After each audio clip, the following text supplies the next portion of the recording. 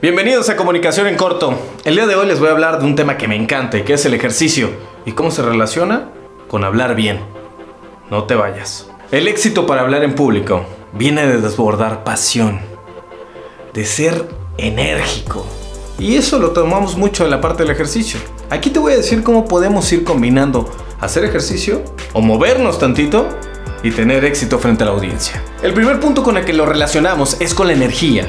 Por supuesto que entre más gente y entre más tiempo pasemos hablando, más energía vamos a necesitar. Por ello es importante ejercitarnos, movernos. Además, dicho sea de paso, aumenta el sentido del humor, lo que hace que tu mente esté mejor preparada a la hora de desarrollar el discurso. Segundo punto de conexión del ejercicio con hablar en público. Tiene que ver con la postura. La postura es muy importante puesto que normalmente cuando hablamos en público, nuestro chasis es nuestro cuerpo y nuestro combustible de la voz es la energía y la respiración.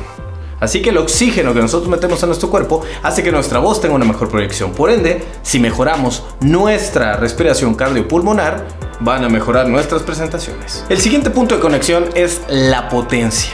Obviamente la potencia viene hacia la parte mental. Atención, memoria, memoria de trabajo, por supuesto. Todo eso mejora cuando nosotros estamos en movimiento.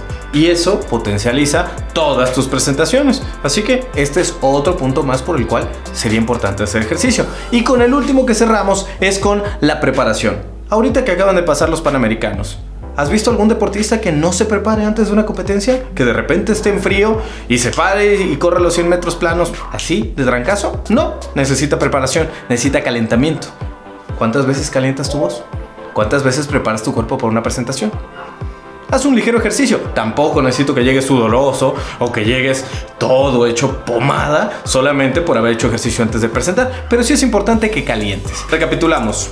Energía, postura, potencia mental y preparación son los puntos de conexión entre el ejercicio y una gran presentación.